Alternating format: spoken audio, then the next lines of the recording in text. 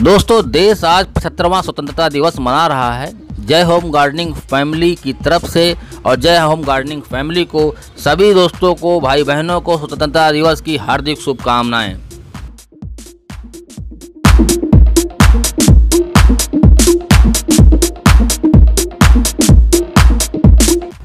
दोस्तों, ये सामने जो पौधा आप देख रहे हैं, अमरूद का पौधा है और देख सकते हैं कि फूल से लदा हुआ है और इसमें बहुत सारे फूल अभी भी आ रहे हैं।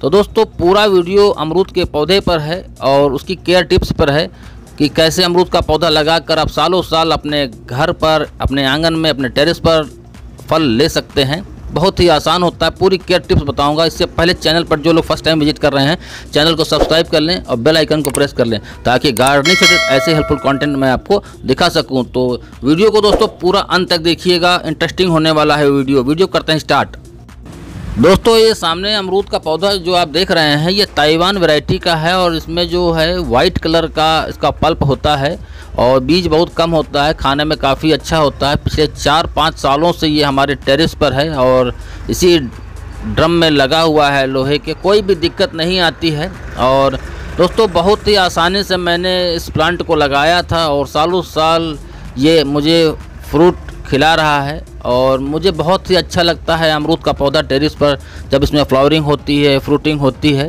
और मैंने अभी एक नया प्लांट भी परचेज़ किया था, आप लोगों ने देखा होगा। ये भी अमरूद का एक छोटा सा पौधा, एक फ्रूट इसमें लगा हुआ है। हालाँकि छोटे पौधे में फ्रूट लेना ठीक नहीं होता है।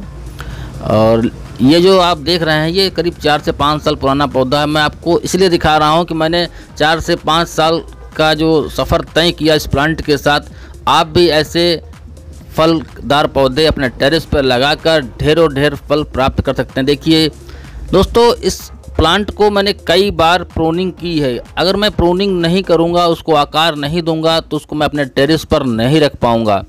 क्योंकि दोस्तों प्रोनिंग चाहे रूट की की जाए, चाहे पत्तों की, चाहे टहनियों की, करके ही एक अच्छी कैनोपी बनाई जाती है। जैसे मैं पत्ती को देखिए, यहाँ तोड़ के आपको दिखा रहा हूँ। अब पत्ती को तोड़ने पर दोस्तों ये होता है कि यहाँ से नई ब्रांच निकलेगी। यानी नई ब्रांच जब निकलेगी तो उसमें तुरंत फ्लावरिंग स्टार्ट होगी। जिन भाई लोगों का अमरूद का पौधा ऐसे लगा हुआ है और उसमें फ्लावरिंग नहीं हो रही है तो कुछ पत्तियाँ हटा दें। फिर देखेंगे कि जो नई नई कोपले आ रही हैं, वहीं से उसमें फ्लावरिंग स्टार्ट हो जाएगी। बस अर्थ यह है कि वो जो पौधा है, उनके पास हो, वो बीज वाला ना हो, ग्राफ्टेड प्लांट हो या एयर लेयरिंग से तैयार किया हुआ पौधा हो। जो लोग बिगनर्स हैं और नए हैं और इस चैनल को देख रहे हैं तो दोस्तों वो कभी कभी सोचते हैं कि मैं अपने टेरेस पर कौन से अमरूद की वैरायटी का पौधा लगाऊँ कि जो जल्द से जल्द उसमें फ्रूटिंग हो सके। तो मैं उनको सजेस्ट करूँगा ताइवान पिंक या ताइवान जो सफ़ेद आता है, उन्हीं में से कोई एक वैरायटी ले लें। इसमें छोटे से ही फल स्टार्ट हो जाता है, चाहे वो बूटी कलम का पौधा ले लें, चाहे ग्राफ्टेड प्लांट ले लें। इस वैरायटी में बहुत जल्दी फ्लावरिंग स्टार्ट हो जाती है और कई अन्य वेराइटियाँ हैं, जैसे थाई सेवन है, थाई फाइव है। और दोस्तों, कुछ ऐसी वेराइटियाँ हैं जो कि थोड़ा देर में फल देती हैं, जिसमें वन के है एल फोर्टी नाइन है, इसमें काफ़ी थोड़ा समय लग जाता है, क्योंकि ये जो पौधे होते हैं, काफ़ी समय लेते हैं। सारी वैरायटियों में जल्दी फ्लावरिंग स्टार्ट नहीं होती है। दोस्तों कुछ वैरायटियाँ ऐसी हैं जो कि अभी नई नई आई हैं, जिसमें रेड डायमंड गुआवा है, वो अभी मेरे पास नहीं है। बताते हैं कि उसमें सीड बहुत कम होता है और मैं कोशिश करूँगा कि जल्द से जल्द उसको मंगा के अपने टेरिस पर प्लांटेशन करके आपको दिखाऊँ, क्योंकि वो अमरूद काफ़ी अच्छा वैरायटी माना जा रहा है। अगर आप अमरूद का पौधा ज़मीन पर लगा रहे हैं तो ज़्यादा केयर की ज़रूरत नहीं है, लेकिन आप अगर अपने टेरेस पर गमले में अमरूद का पौधा लगा रहे हैं तो बहुत सारी बातों का ध्यान रखना पड़ता है। जैसे गमले का साइज़ क्या होना चाहिए कंटेनर कौन सा लें, और उसमें फर्टिलाइज़र कौन सा दें, मिट्टी कौन सी लें, हर तरह से गमले में लगे अमरूद के पौधे पर ध्यान देना पड़ता है, तब जाके अच्छी फ्रूटिंग हो पाती है। दोस्तों, मैं अभी बताने वाला हूँ। दोस्तों, अगर आप अच्छी वैरायटी का अमरूद का पौधा लेंगे और एक अच्छा कंटेनर लेंगे या ग्रो बैग भी ले सकते हैं।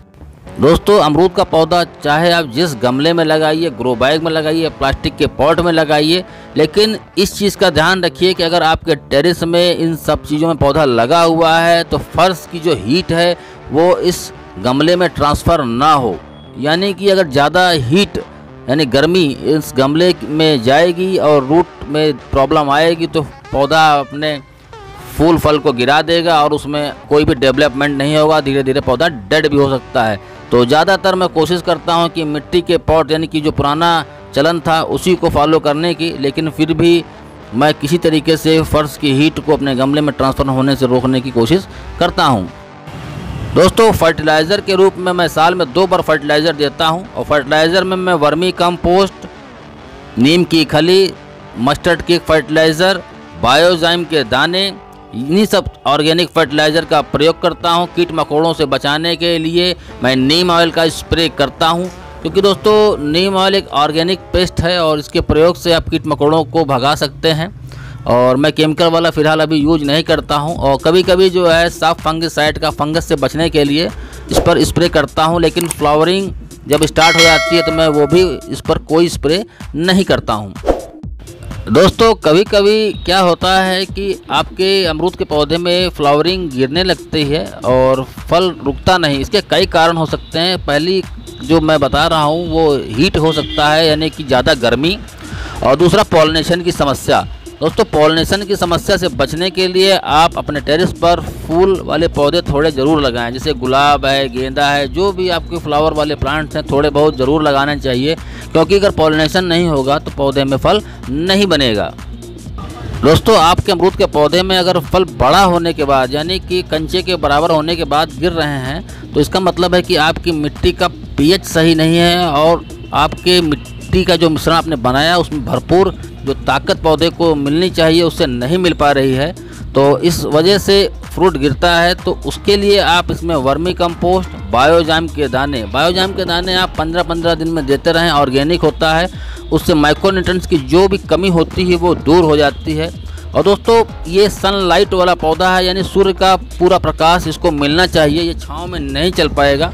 तो कोशिश करिए कि मॉर्निंग से लेकर इवनिंग तक की सनलाइट अमरूद के पौधे को मिलती रहे, तभी पौधा अच्छी तरीके से ग्रो करता है। दोस्तों, आज का जो वीडियो था अमरूद के पौधे पर था, उसकी वैरायटी पे था, उसकी केयर टिप्स था। दोस्तों, ये वीडियो आप लोग को कैसा लगा कमेंट बॉक्स में कमेंट करके ज़रूर बताएँ। वीडियो अच्छा लगे तो हमारे चैनल को लाइक शेयर सब्सक्राइब करिएगा। नमस्कार।